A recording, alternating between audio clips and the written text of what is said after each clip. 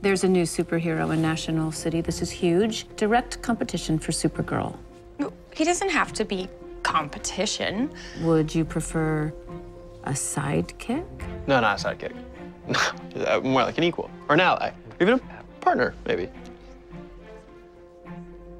Speaking was the wrong choice. I see that now. All four of you standing there doing nothing. You look like the attractive yet non threatening, racially diverse cast of a CW show. Who are you? Uh, he's my, my My cousin. cousin. No, um, my name's Barry Allen. I'm not actually anybody's cousin. Uh, we're just such good friends. Yeah, it feels like we're family sometimes. Uh huh.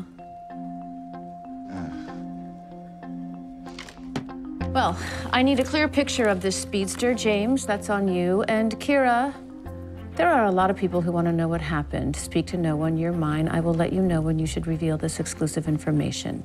Now I have to name this hero. I was thinking about the whoosh or the red streak or the blur. What about the Flash? I'm just saying. I think that's a pretty cool superhero name, right? The Flash sounds like someone whose only superpower is jumping out of an alley in a trench coat. No. I want mystery, I want intrigue, I want the blur.